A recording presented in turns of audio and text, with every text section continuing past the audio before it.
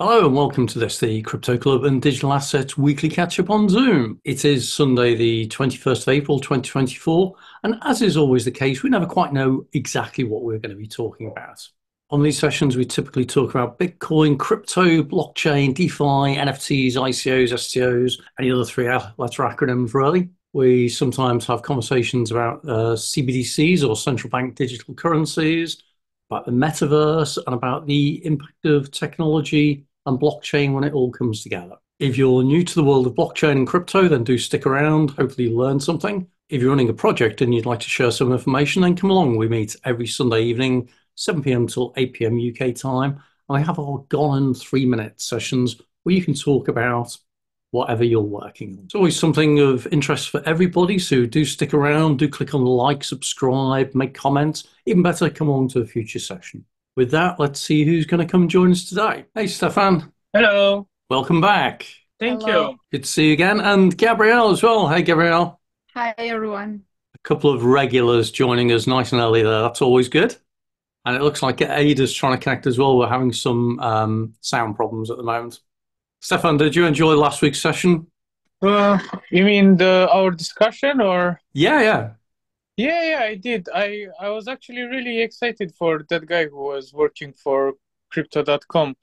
I was wondering how how do people get these type of jobs because I I was thinking about trying to do to get like a job in a crypto company, mm-hmm. but I I didn't really been very successful and my level of programming I don't think is that good to be able to work in like programming. So I was curious how he managed. Okay. Yeah. I'm, I'm not sure what, which area he, he works on within crypto.com as to whether it oh. on the on the tech side or not. From what I understood, he was like working in uh, in community management. Yep. So I was thinking that he was more like a moderator for uh, Telegram and perhaps other groups of uh, yeah social groups. I, I think you might be right, and that, that's the thing that you get to discover that in the in the crypto world there's lots of opportunities for marketing people, for social media people, for community managers, all this kind of thing. You don't necessarily have to be a techie tech person, although it can True. be useful. it can be useful. Yeah. I, I, I still don't get it how how these jobs work to be honest. well, I, I, guess, I guess you apply and you find out as you go along. Probably, yeah. Yeah. Um, it'll be interesting to see who who joins us today, um, given that we had the Bitcoin halving um, a day or so ago, yeah. and that that generated hardly any activity at all, which is exactly what I expected. But there was also a big crypto conference. In fact, two, two conferences in Dubai last week. Which do you think is going to go lower from, let's say, fifty nine? I've got no idea. I, I, tend to avoid trying to do price predictions. The, the, only, the only prices yeah. I ever offer is it's going to be somewhere between zero and lots more thing. You want um, to play safe. Yeah, exactly. But all, also, I, I still recognise that crypto prices can drop substantially. And it, yeah. it's interesting in the last week, I've seen that there was a price correction during the week and loads of people were saying, "Oh no, you know, the Bitcoin price has collapsed," and it's like it dropped fifteen percent in, in crypto yeah. world. That's not that major, and in fact, yeah. I, I, think it went down to about fifty or something um, from a high of seventy. And it's like, look, it started the year at I think it was about thirty-five. Mm-hmm. So it, it's still like 50% higher than it started the year, and you're calling it a collapse. So these uh, are definitely new people or people who don't they don't have like very good hands and you exactly. every small thing. And i think this is good because when you when we look into like metrics on like other people and people who search for cryptocurrency there aren't many people. But i also think it's also another factor for the fact that people already know about crypto. Like i literally have friends and whenever I see people who are not into crypto, I always try and ask them, what do you know about crypto? What do you think? And all this. They know about that is the future of money and all these things. So I think this idea doesn't really pales that much anymore to people. I think it's just like price is going up. If if we won't have like a game that will will become like mainstream, I I don't think that would be something. I think it's just gonna be like normal investments. As you invest in stock market, only people who want to invest in like stock market, they are going to start looking into crypto, in my yeah. opinion. I, I, think you may be right, and you're you're absolutely right that the people who are new to crypto. I mean, you, you look at this price chart. This is the one-hour chart for Bitcoin at the moment mm-hmm. that that I've pulled up, and so it, it's ranging anywhere between what's that, fifty-nine. They're at uh, it dropped down to ju- just over sixty, yeah. Um, and its peak was like sixty-seven. So that, that's, that's like a ten percent drop, and in in stocks and shares, that is catastrophic. You know, yeah. if, if a share dropped ten percent on the New York Stock Exchange or the Nasdaq, people um, cry. exactly.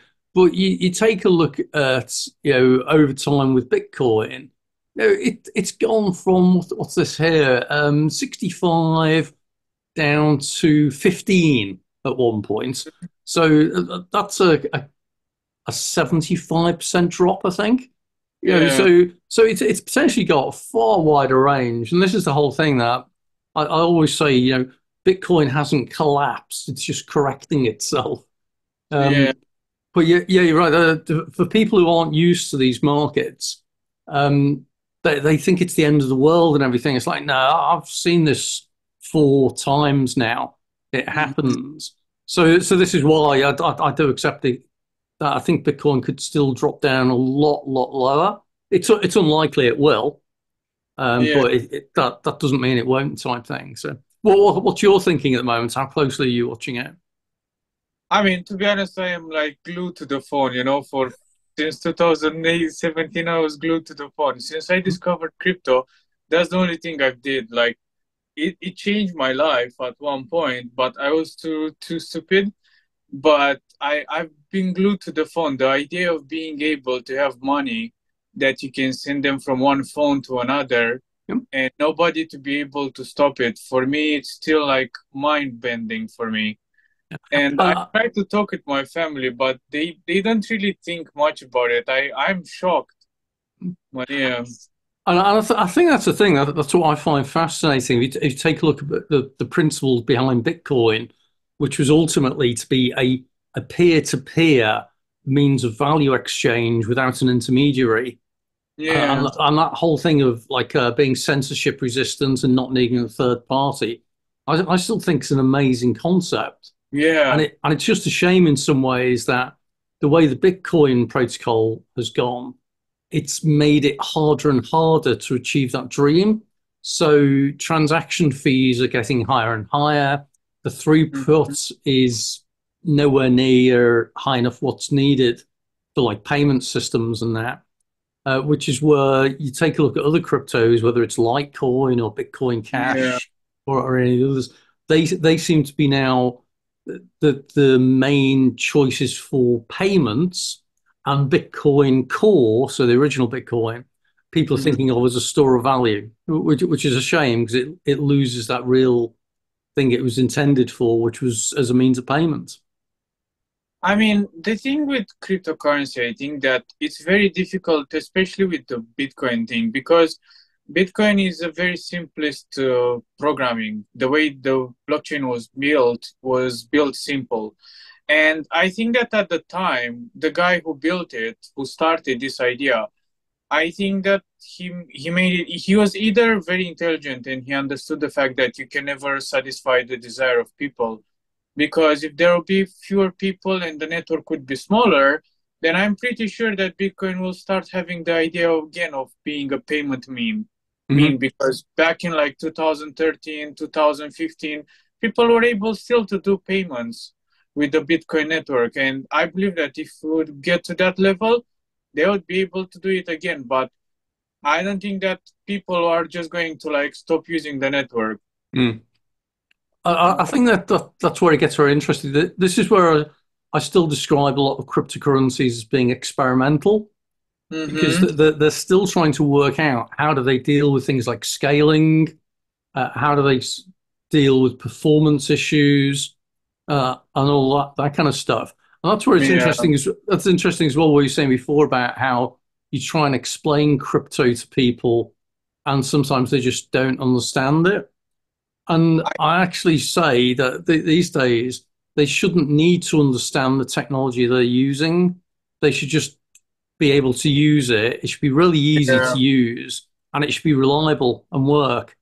And it, it's funny. I, I, had a conversation a while ago with somebody who said, "Oh, I'm I'm not using crypto because it's far too complicated to understand um, how yeah. it works." It's like, well, do you understand how a bank account works and how payments work?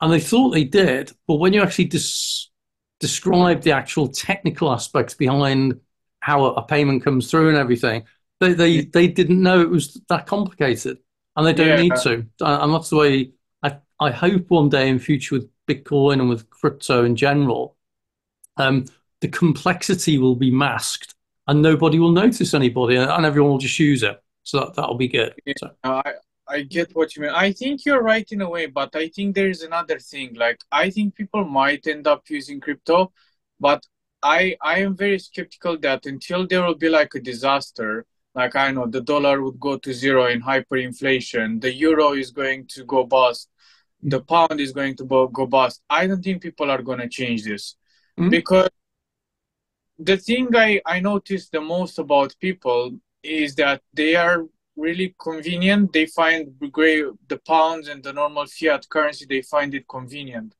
So, in my opinion, I think people would need to experience a pain, a really big pain, mm-hmm for them to change their their way of thinking. That's that's my opinion. And until uh, it happen, yeah, sorry. No, I was going to say I, I, I agree. I, I, I, describe I describe people like water. That they, they mm-hmm. take the path of least resistance.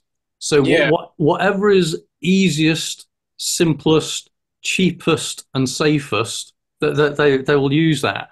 It, the only other thing that you can throw into the mix is the whole thing about censorship resistance. That yeah. if, if you if you can provide something that allows them to do things that they wish to do, as opposed to the way that the banking system is going more and more now, where it's allegedly to protect the customer, it's getting yeah. harder and harder to do anything. You know, you, you now you now have to do multi-factor authentication. You have to say what you want the money for. You have to say where it's going to, all this kind of thing. It's like you know what? I just want to pay a bill. Uh, I don't want the complexity. Yeah, oh, we'll see. So joined, joined, by, uh, joined by Elena as well. Hey, Elena. Good to see you back again. Hi, Gary. Gary hey. Thank you very much. Yeah. How, how's the metaverse world for you? Busy. you got exams coming up or? Uh, yeah, finishing the second semester now. Okay. And then there will be exams in May. Brilliant. So, okay. Next week is the last week of lectures. Okay. So you know the best way of preparing for exams? What is the best way?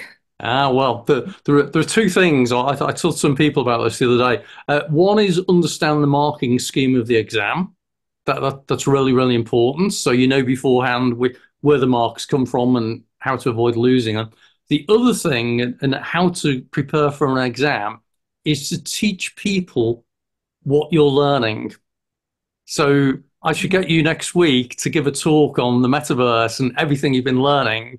And you, if you can teach it, then you'll find it far easier in an exam. How about that? This sounds like a very good idea. well, will, the, will, will, I have my 180 seconds? Yeah, yeah, it'll be um, the metaverse in 180 seconds. Go. Oh, okay. Uh, and you know what? This makes it quite complicated. Yeah. The well, time well, restriction. Well, well, you're right. Uh, and this is the whole thing.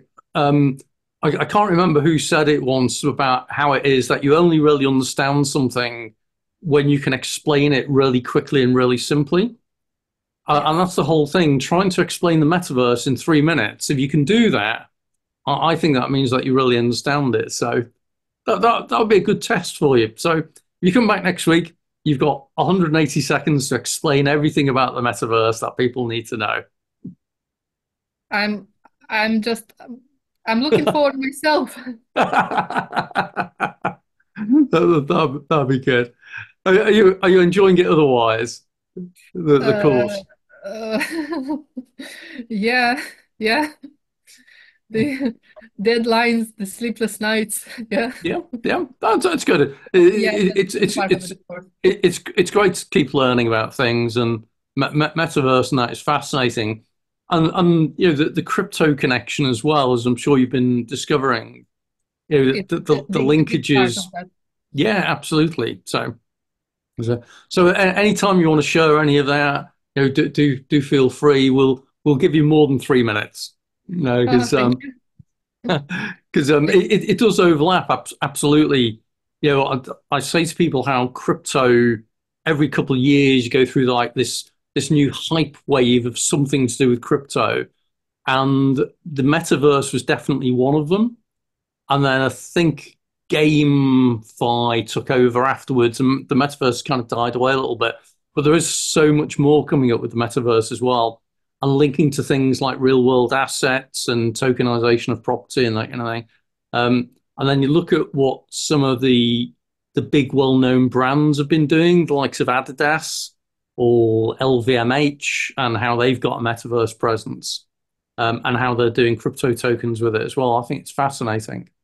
The, the, one, the one surprising one though is that Starbucks is stopping or has stopped because they they had um, a metaverse presence linked in with the loyalty card scheme in the US, I believe. And I saw a couple of weeks ago they're discontinuing that, which is a shame. So Right. Do, yeah, do you know the, about the reasons? I, I, I don't I don't know the reason. No, um, all, all I know is that, that they had something where they I, th- I think they were using Polygon. Someone said Ste Yeah, Stefan might know actually. Was that right, Polly? yeah. Polygon. They used Polygon. They had a partnership, but they closed the partnership. I really have no idea why they closed it. I haven't read much about it. I was also sad because I think that loyalty things would be a big thing for like someone like Starbucks. But yeah, I, I don't know what happened and why. Yeah. And, and it's interesting as well because they, they were linking it in with like a, a metaverse presence, and Mm-hmm. it's the the ability to do things like d- do a virtual visit to a coffee growing plantation in somewhere in South America, I think it was. Uh, and, Interesting. and, and they had that configured as kind of like a, a metaverse experience where I don't know if you wore a VR headset and went to a, a coffee plantation in Bolivia or something. Um, but they were trying to tie all of that in, in together. So it was re- re- really, really interesting. It was just such a shame that they stopped it. So, uh, but uh, as is always the case, companies sometimes spin these things up as an experiment, and it's just to see how much interest there is, and may- maybe there just wasn't enough interest. So, right, I, I was looking forward Probably to trying it out. Probably also they've done it like as a as a stock thing. Like perhaps people would, oh, now Starbucks is doing this with blockchain. Probably they people would invest more because Meta, for example, they changed their name from their Facebook name mm-hmm. it into Meta. And from what I heard, they want to change it into AI. I heard. I, I, I would I would not be surprised because they were very early in, into the metaverse space, as you say, by rebranding from Facebook to Meta, and they invested a lot of money into their metaverse presence. But it's one of those things that it's like different generations of people have different ideas, and it's almost as though Facebook was the wrong generation people having the ideas for, for the for the metaverse. So yeah, so that that, that didn't go down too, so well, and they, they had their VR headsets as well. But I, I think the actual metaverse experience they developed wasn't great. So, but we'll I, we'll see. uh, the Facebook metaverse is actually quite ugly. They made something and it looks like everyone was drawn out and everyone was mocking them.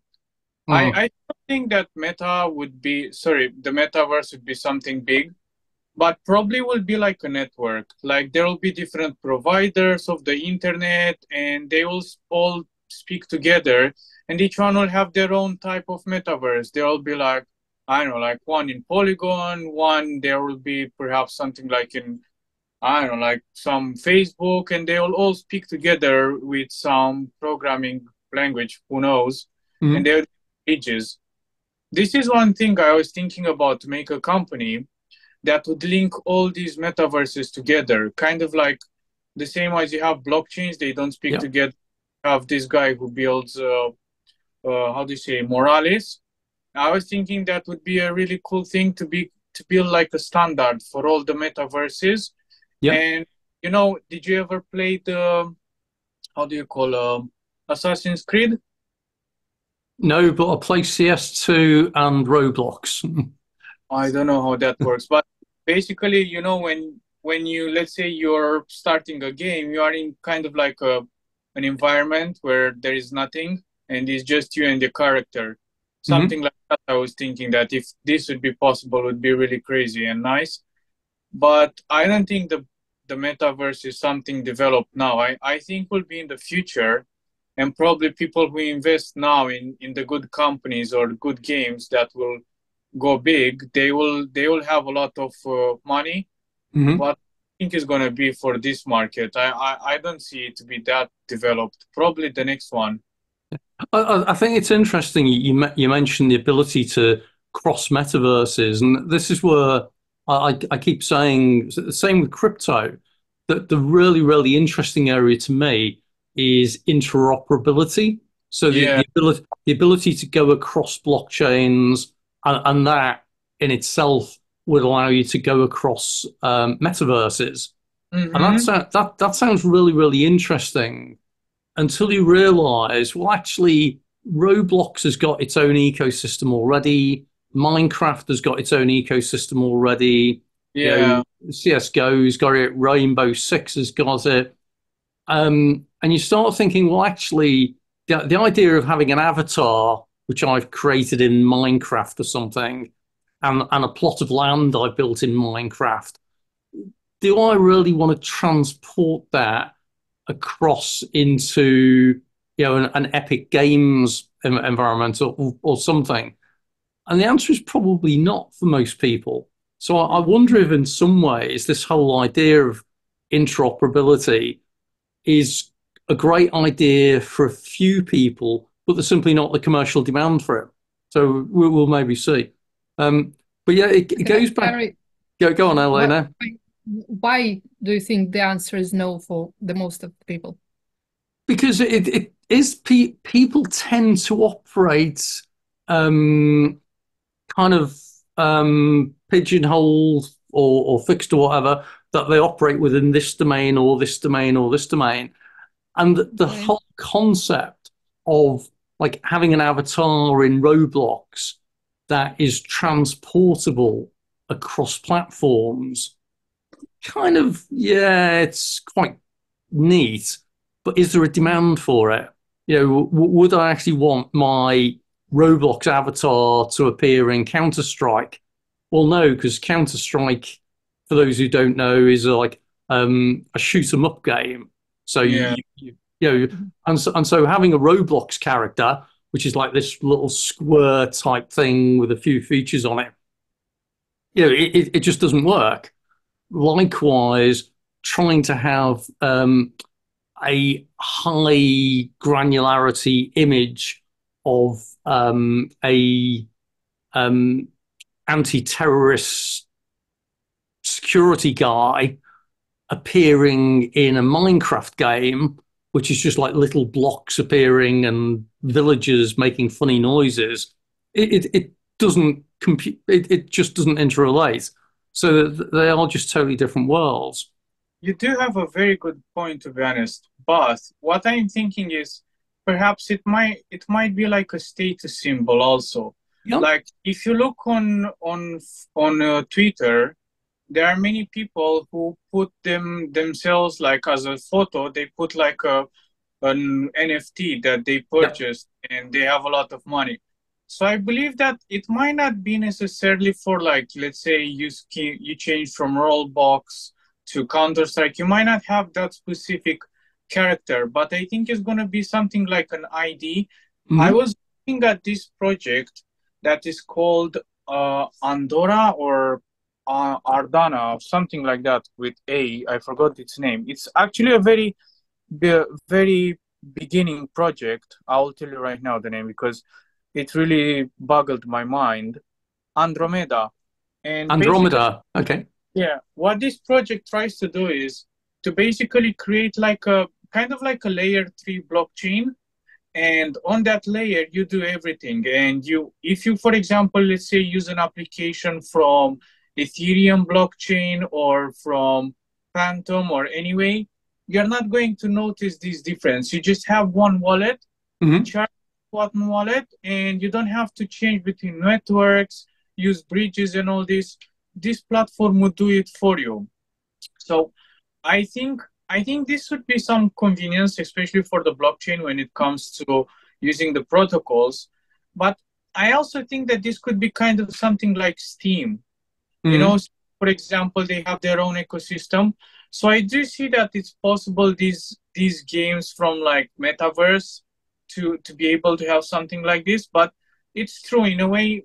The guy the guy when we went when we were speaking last time, he was saying that I don't see the point of, of metaverse and the point of uh, these games and NFTs. And he does have a point because you can play games without having these NFTs.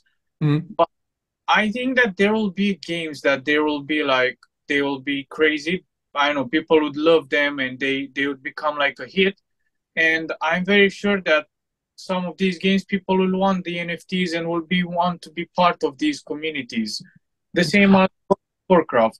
I, I, was, I was going to offer I, I, think you hit it exactly right. It, it, reminds me of something elena said several months ago um, really interesting. So if you think about something that we do need to carry across all of the metaverses is digital identity so the the the, the ability to log. I mean, this is one of the benefits of the concept of Web three, is that you're no longer typing in a user ID and a password. You're using a wallet as a, as a form of identity. So when you when you look at identity um, authorization um, and credentials and also personas and, and roles and that, this is where metaverse could definitely play in particularly when linked into like an, an NFT type capability. So you could almost use an NFT avatar as your identity across platforms. Uh, absolutely, I think that links in nicely.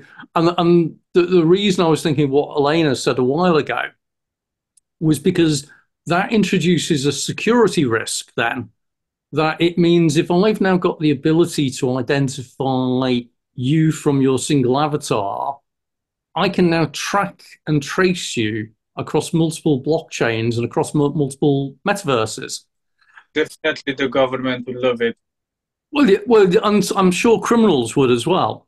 True. Um, but yeah, I, and I thought that was really interesting because, uh, as Elena mentioned, it, it's like, well, if that gives you the ability to kind of like reverse engineer who somebody is, you then got full visibility of what they've been doing. That's that's possible you know that there was this uh, this account on Twitter who was always chasing Elon Musk uh, jet, and Elon Musk wanted to block him because it was chasing him on on real time. Yeah. And he, then he stopped him only with like 24 hours. You can tell uh, Elon Musk jet with 24 hours in delay. Mm. I mean, I think I you do have a very good point but i think people would want to like show off if if people would live online and they would i mean if we stay to think we do every single day zoom meetings and and speak online and videos and all this if people would start and use metaverse as a as a way to i don't know let's say keep lessons and teach people like this would be a big thing imagine like a youtube but instead of just watching a video you can be right next to the person and, and do the yep. same thing like this would greatly increase the the education system, in my opinion. Which is I, I, yeah. I, I, was going to say I, I, agree completely, and that, that's what I find fascinating about the opportunity to use like a, a metaverse layer as like the the presentation layer for education. And mm-hmm. I, I, I saw it a while ago where somebody had gamified training. So it wasn't quite using metaverse, but it was like a shoot 'em up game to qualify people in, bizarrely enough, um, GDPR rules, so data protection rules, and they, they gamified it. Now, if you extend that into a metaverse where, you know, to pass your accountancy exam, you have to go down certain routes or something, that'd be really interesting. Yeah, I mean, I think I think that there are many good ideas. The thing is that there will be someone who has to do them. That's that's the issue I have with the capitalism and mm-hmm. democratic system. Someone has to build them, and the question is, who would take this? And even if let's say I would like to do it, it's it's my own risk. Nobody would would help me. That's that's the issue I see. Nobody nobody would help and would actually do something. Is it's just my risk, and I have to find it profitable. Yeah, but it's the profitable that brings it back to what I was saying earlier on about cross-platform avatars and that. It's it's really a question not of how many people want it. It's a question of how many people are willing to pay for it. Um, because sometimes people say, "Oh, yeah, it's a great idea. I'll have that." Then you say, "Well, it's going to cost you ten dollars a month subscription or whatever," and they go, "I don't want it that much." So it, it is generally it has to be commercially viable. Um, so you need it to be profitable and for there to be enough volume to turn it into a business. Yeah, you do have a point. I I remember, for example, Instagram. I don't know. I right now when I look on it, I don't see it anymore. But uh, one, two or three years ago, they implemented this uh, NFT thing in Instagram, and you could uh, link your NFT, your uh, how do you say Ethereum wallet mm-hmm. with the NFTs, and you could have like NFTs on your wallet. I think it's a really great idea, but they they took it down since then. Another mm-hmm. thing because I watched and I was impressed, and I think this could be a, a good thing, and this could be a hit. Is for example, if you use Moralis money or these products of this guy, Ivan on Tech, he, for example, he uses Ethereum wallet and you can log in with your Ethereum wallet and create your account in Ethereum in his application by using Ethereum. Uh, uh, how do you say Ethereum account? And I think that this could definitely be an application people would use. They would have like a, a blockchain and they would mm-hmm. just look at the blockchain the same as they do with like other social media accounts. And there's another thing I don't know if you heard or if you used. I tried and I used Dmail. Have you heard of it? No.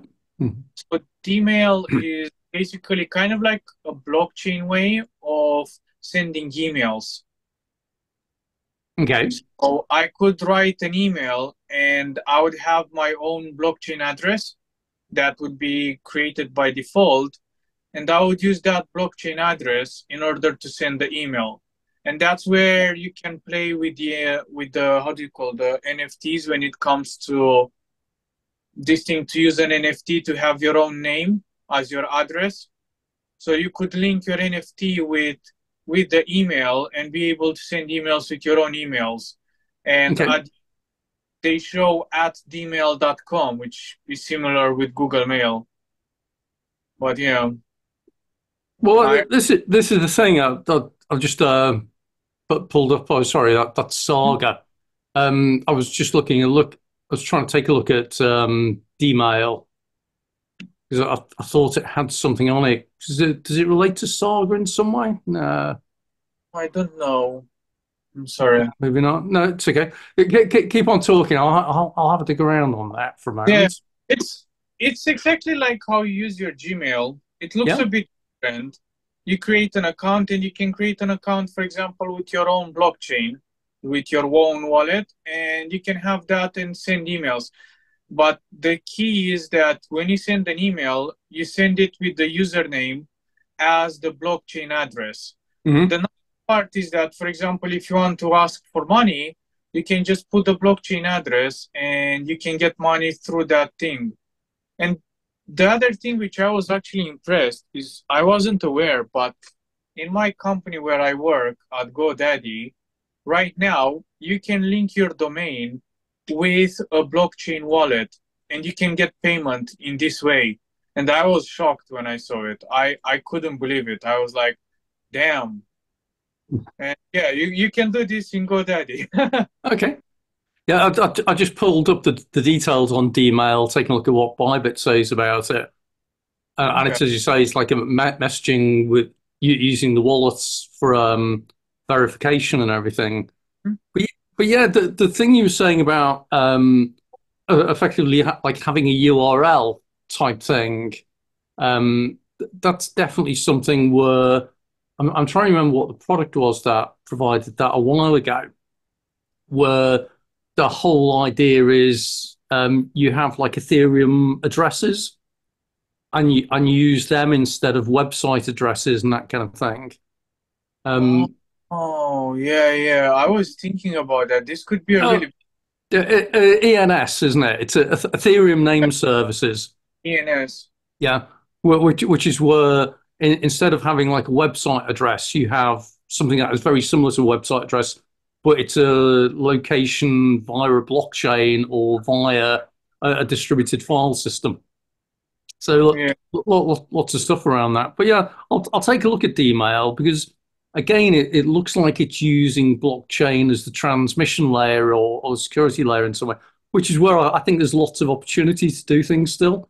So uh, JT, who joins us sometimes, um, he's working on a project that is around video conferencing and voice and messaging, uh, where they use blockchain as kind of like a, a authentication protocol layer, so that they do it via uh, smart contracts, which means that you can spin up um, a temporary wallet address for your for your identity and to log you on, and then you you've got this um, totally decentralized distributed uh, video capability which means it's very censorship resistant. So really interesting stuff.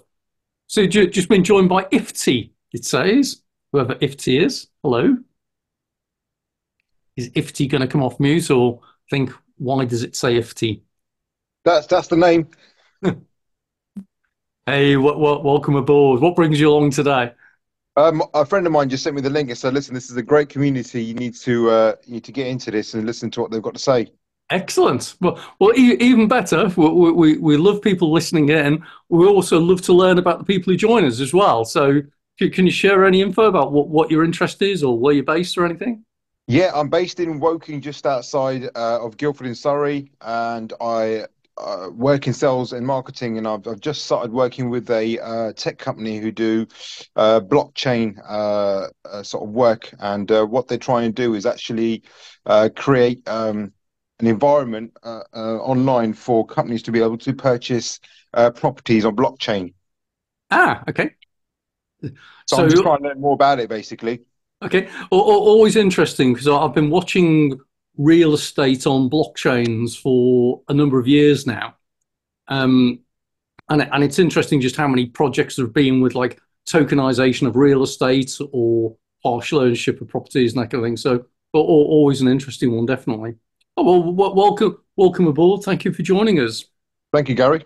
Uh, no problem. So we, we've just been chatting about the kind of kind of the focus this time around, very much around the metaverse, really, which kind of has a link in with um, real world assets and um, real estate and that kind of thing. Because I'm seeing some examples where people are using um, like a digital twin on the metaverse to represent ownership of physical property and that kind of thing. So I don't know if that's the direction of the where, where your project or company is working, but certainly a very interesting area.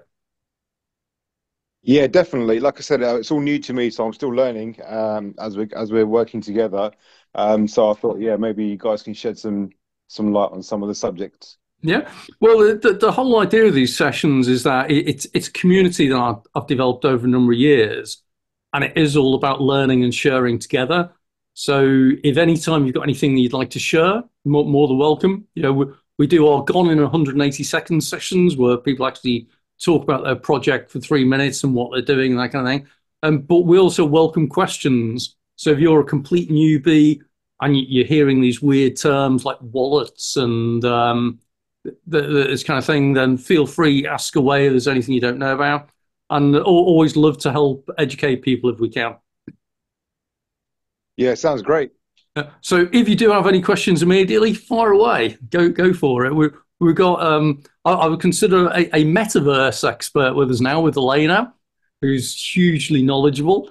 Um, we've got Gabriella, who's developing a knowledge in the Web three space. I think. Spe- Stefan, I think you, your niche is around Ethereum, isn't it? If I remember correctly, is that right? Uh, well, I mean, I would say that Ethereum is the one that I have the most experience with but I'm more like a geek. So whatever, whenever I see something that catches on, I'm like trying to find out. okay, cool. And and for me, I've just got a general interest in. It was originally blockchains, uh, and I kind of stumbled into crypto because there's no escaping from it. But I, I just loved the whole concept of um, peer-to-peer transfers, about immutable blockchains and databases, programmability, and all this kind of thing. So I, I was a consultant for about eight years in this space. Um, I started taking an interest in blockchain around about 2014, 2015-ish. Um, and I still feel as though I'm quite new to this. So I, I've been doing it for like about nine years or something in total now. So but yeah, if you got any questions or anything, uh, anything. Oh, it says I do have a question. Go for it. Feel free. Yeah, sorry, just ask Gary, away. I do. I didn't want to cut you off while you were talking, but yeah. So I do want to ask actually because I'm speaking to people who are trying to get into understanding blockchain, and and the one question they all ask, and, and I asked myself was, how does one learn about blockchain? I've looked online for courses. You know, I, can, I, know you can go to university and do like courses online. Like, what would you, from, from, you and the community or the people that we're talking to today, what would you recommend to someone who wants to understand blockchain technology, Web three, and and just sort of get a basic understanding of the technology, the industry, and what it can do for us? Like, mm-hmm. is there any advice you would give someone like that? Yeah, I, would say as a starting point, YouTube's a great place to go for lots and lots of resources. The, the problem is you never actually know if the people who have done stuff on that actually know what they're talking about, which, which can be a bit of a challenge. Um, the one, the one person I would strongly recommend listening to is this guy called Andreas Antonopoulos, who has been in the the blockchain and Bitcoin and crypto world for many years. Um, He's a visiting lecturer these days. He does all sorts of stuff. He actually wrote a book on Bitcoin a few years ago that's worth checking out.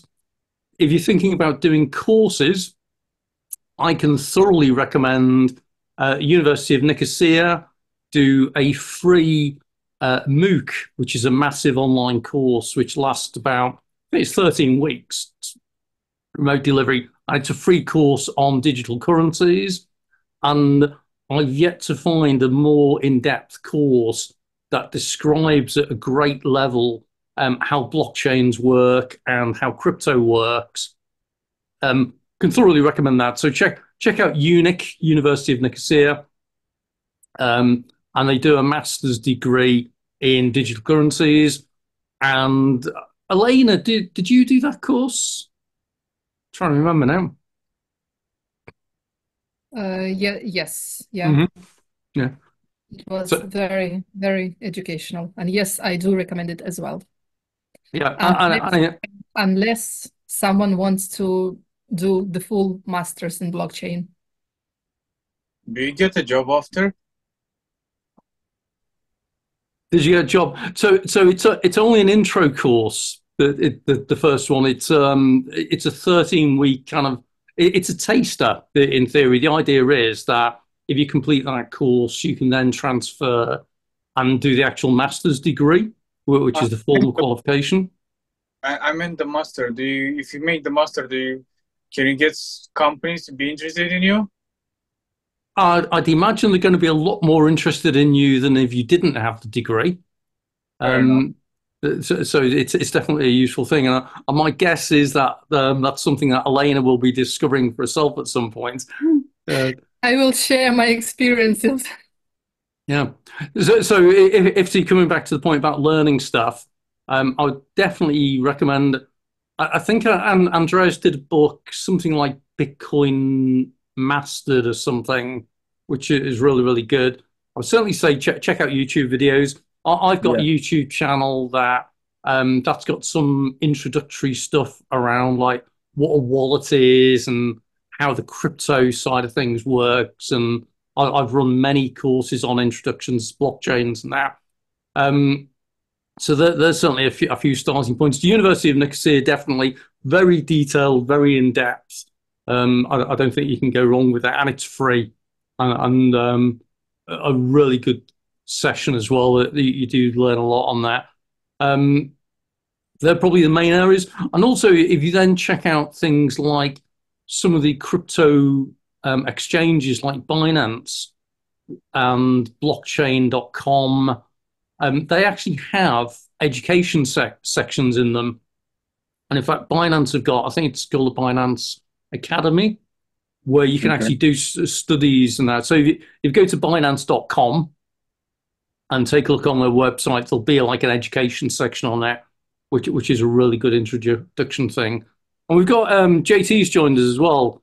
Hey, Fernando. So you, we've just been asked the question about um, best resources to learn about blockchain and crypto at the beginning. You got any suggestions on that? Yeah, I was listening. Uh, first of all, hello. Yeah. Uh, bear in mind my voice. You know, I've been all week just speaking like for 12 hours, 14 hours, meeting people. You know, I'm in Dubai at the Token 2049 week. You know, so yeah, you've been, you've been you've been swimming for the week. No, actually, just the first few days because then it started to clear, you know, um, yeah. towards Thursday, Friday. You know, Friday was more or less you could just go almost everywhere, you know. Okay. Yeah, but yes, I mean, you mentioned uh, most of the things that you know, um, but there's one as well. Uh, I think it's UCLA uh, because I know the a guy that is. I think he was probably the first professor of blockchain. You know, uh, it was in UCLA. You know, his name is Alex He's a Brazilian guy. He's, he's, he's really a teacher at uh, at UCLA for blockchain. Yeah. So okay. yeah. So maybe it could be another resource to look at, but the rest, yes. I mean, Binance is quite comprehensive, as we know. You know, they put a lot of effort on the educational side. Yeah. And uh, Andreas and etc. Uh, so you mentioned everything else already. Yeah, yeah. I, I, was going to say the, the, the only other thing I'd, I'd offer if it is um, avoid anything that is hyping crypto.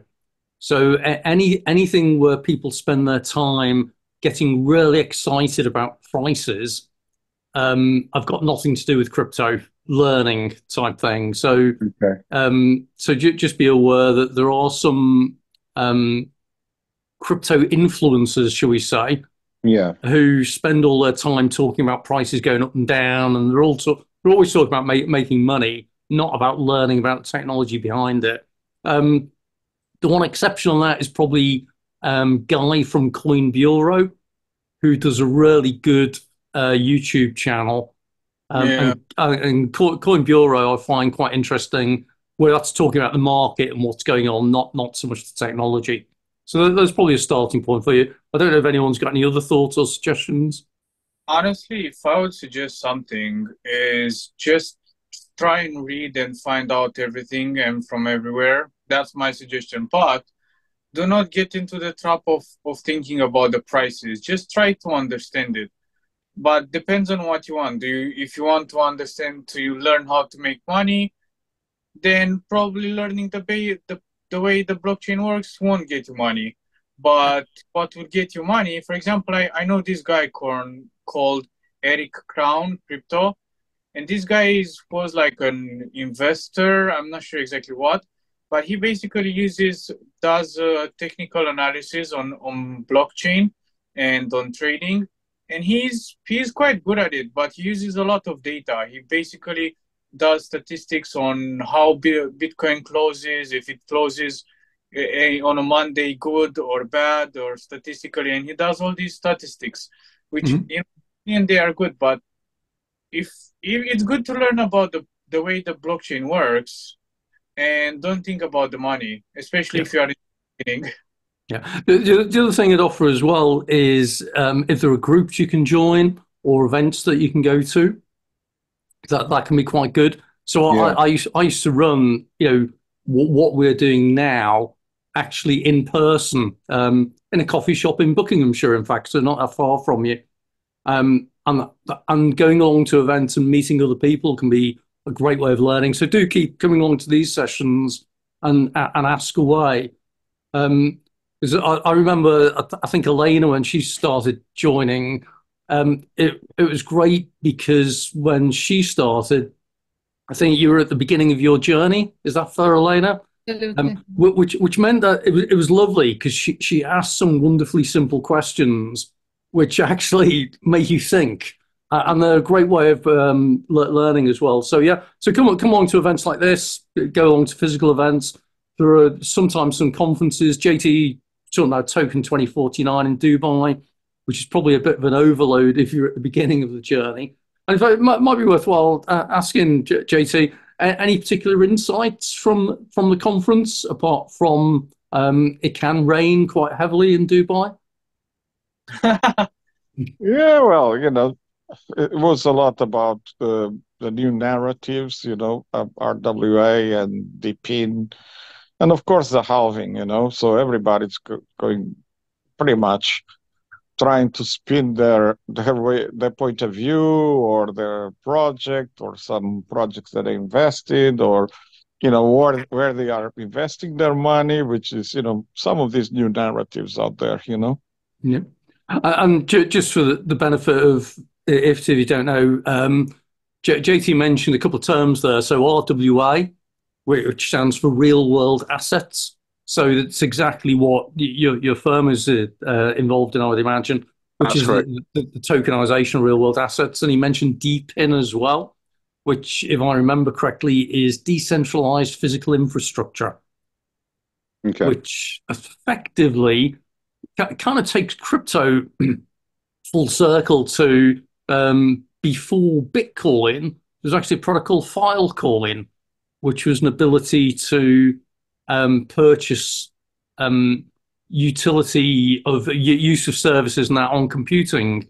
So, like whether that be disk space, that kind of thing, um, which is a physical infrastructure. And we seem to be going through this DePIN cycle at the moment, which is kind of revisiting that in some ways. Have I got that about right, JT? Oh, in fact, if, if he's put his hand up now, go, go on, ask away. Cheers, Gary. Uh, a question for, for JT actually, or Fernando, I've got written there. But um, uh, you're in Dubai, uh, JT, and that's actually uh, uh, of interest to the people I'm working with because they're looking to expand into that region.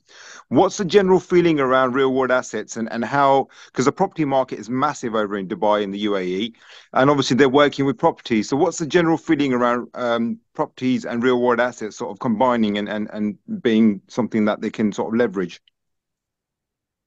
Yeah. Um, look, the the feeling is it's always, you know, quite positive about it. But it's not just about properties. RWA, as you know, yeah, uh, it's a lot of properties been for a very long time. Um, that uh, people are looking real world assets in we look around all the assets that are around the world. So that's what people are looking. What is going to be the next big thing?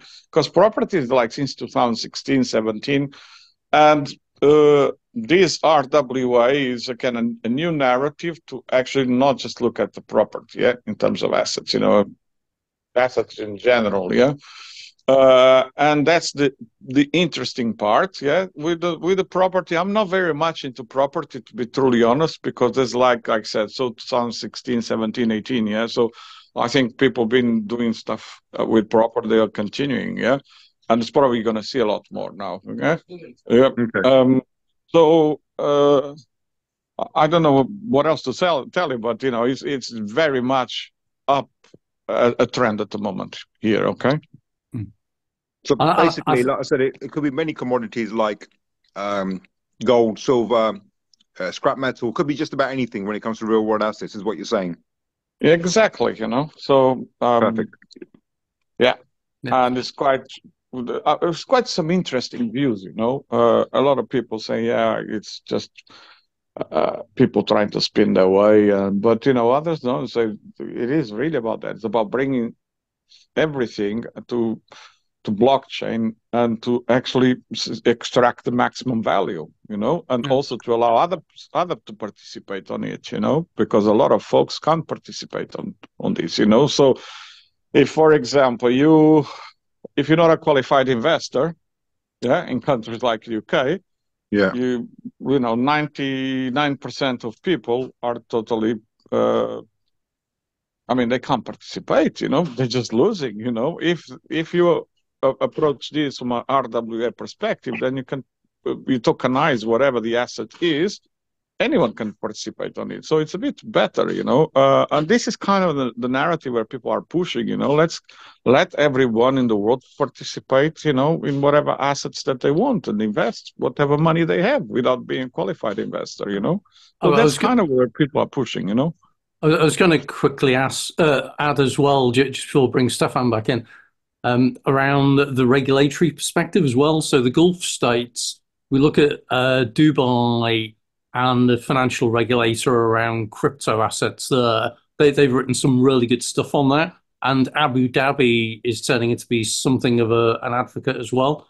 So the, the Gulf states are definitely aligning themselves in favor of digital assets and the ability to tokenize and real world assets and property is part of it, definitely. So, Stefan, go, go for it. You got your hand up. Uh, yeah, I mean, I think one of the reasons why they want it is for liquidity.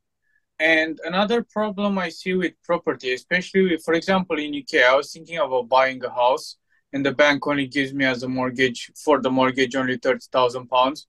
And a house is way more than this. So I think another thing which would be really cool is if you could just somehow bridge the gap and allow people to be able to, let's say, someone can invest in the mortgage of someone else and get share of the house. That's something I, I think it will profit a lot, especially markets and the banks, in my opinion.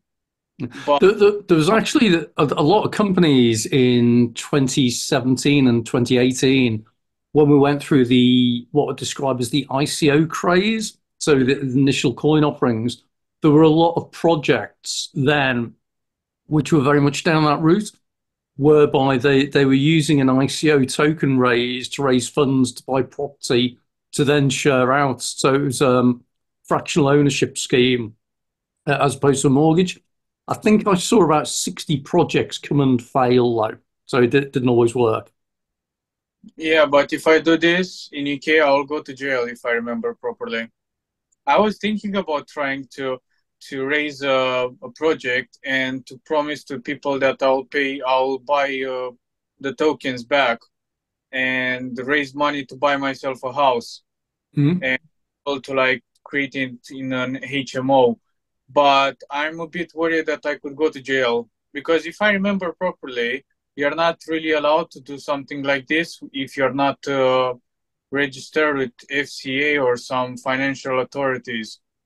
You, you, are right that if you're offering a financial product or a financial service, then you, you come within the remit of the FCA, so the Financial Conduct Authority.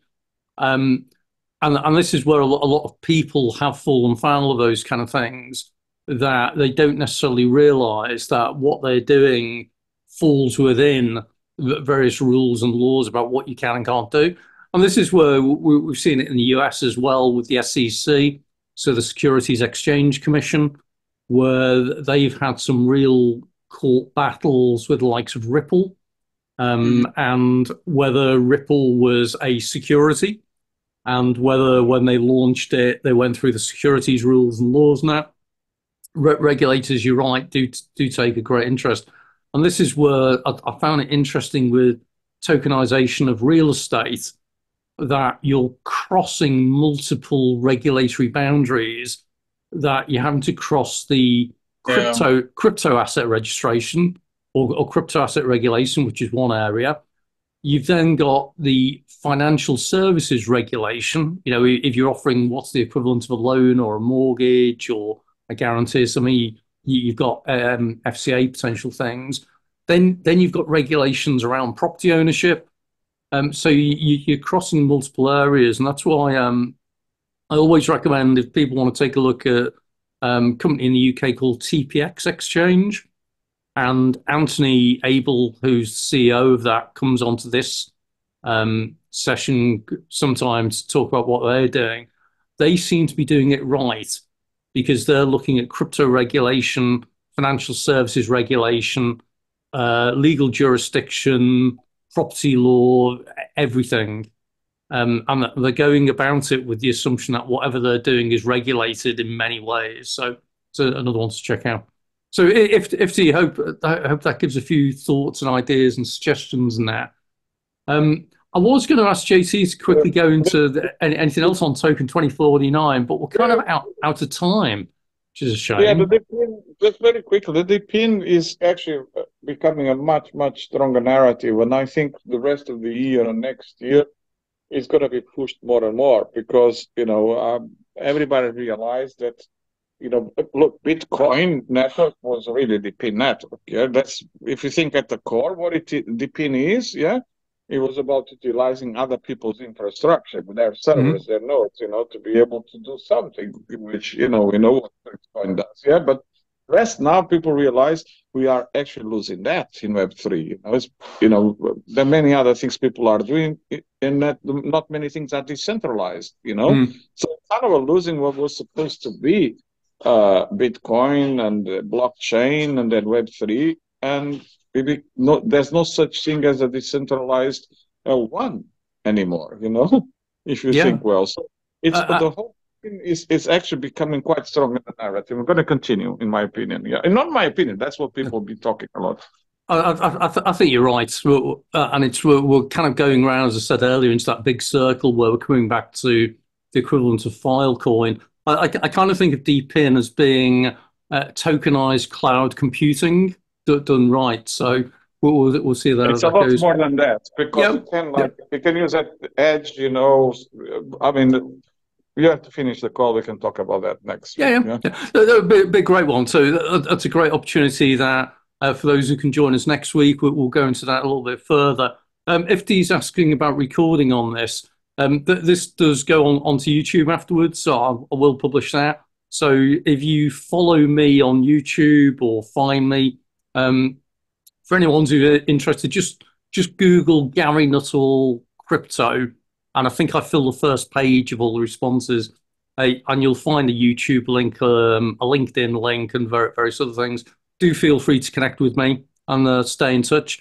For everyone, thank you for coming along today. I hope you found that of interest and of use. Um, here's to the next week. Have a great, great week, folks. Bye Thank you, guys. Thank you. Bye. See you next Bye week. Now. Bye now. Bye bye.